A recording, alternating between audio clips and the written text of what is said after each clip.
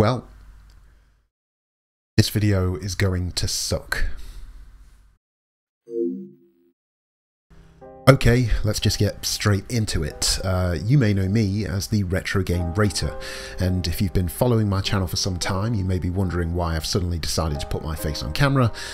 The short answer to that question is that I'm done. So some of you may have noticed the recent posts on the community tab of my YouTube channel stating that I've recently been having some trouble with YouTube and a lot more of you probably noticed that my upload frequency of late has been all over the place. I started uploading videos to this channel at the start of 2018 and for the first two years I did my weekly reviews of PS2 and original Xbox titles and had a fun time doing it. Like most people who start a YouTube channel I began this journey not really looking to become some internet celebrity with millions of subs and millions in the bank, but really just because I thought it was fun and I wanted to see where it could go. As things stand right now, I've uploaded roughly just under 100 video reviews and somehow managed to convince just over 6,200 of you to subscribe to my channel.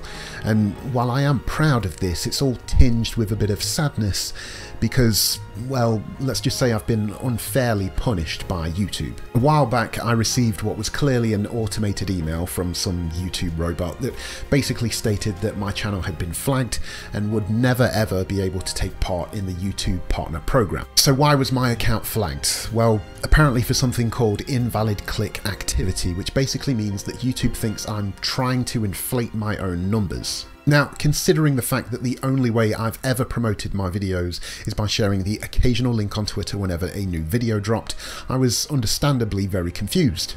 That was until I did a bit of investigating, and by investigating I mean googling my own name. But basically, I found that my videos were being shared across a whole bunch of sites that weren't YouTube. To give you some examples, all of my reviews are being shared on some website based out of Thailand. Uh, I also found a bunch of my reviews on an MP3 site based out of Russia. But the strangest example was my review of the game based on the movie Minority Report, which was being shared on an illegal movie site as if it was the movie itself. Since finding this out, I've gone back and changed the settings on my YouTube channel so that this can't happen again. Uh, this also means that the videos were pulled from these random sites around the world, but unfortunately it's too late now as YouTube seems to think I was behind all of this and my channel has been blacklisted and is permanently banned from monetization. I should also say that I have tried reaching out to YouTube YouTube numerous of times through a variety of different channels, um, probably about four or five different appeals in total, and each time I've basically hit a dead end with an automated response that basically just says, nope, you're done, forget about it. So all of this kicked off about a year ago, and over the past year I've been back and forth on what I should do about it. And even though I've put out videos here and there, I've never really been able to shrug off the feeling that I could put out a video that would get 100 million views, which, by the way, none of my videos will ever get, but stick with me. I could put out the most viewed video ever and nothing would come from it because my channel has just been struck off. So at this point I basically only have two options. Option one is that I take time out of my personal life, away from my wife and child, and continue to make videos and rack up views for a channel that YouTube has blacklisted.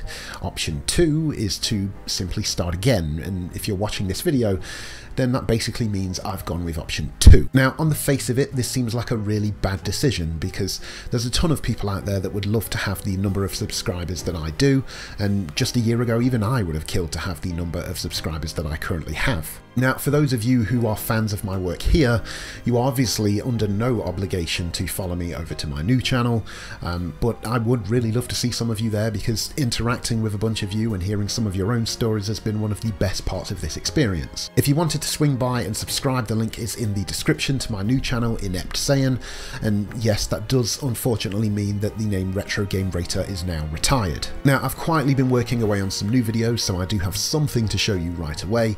Uh, I'll figure out my schedule for my new channel as we go along, but the main thing to note here is that I will still be covering games, nothing is changing in that regard. The only difference is that I won't strictly focus on reviews anymore and will be opening myself up to a bunch of different types of content. This channel isn't going anywhere, all of this content will still be right here because I still think it can be useful to some people.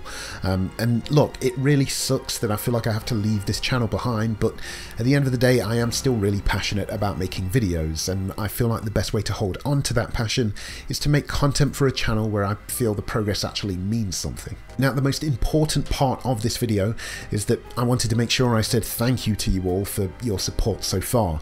Whether you found my channel three years ago or three weeks ago, I really do appreciate you taking the time to watch my stuff. Obviously, I hope that you enjoyed my content enough that you're willing to follow me over to my new channel.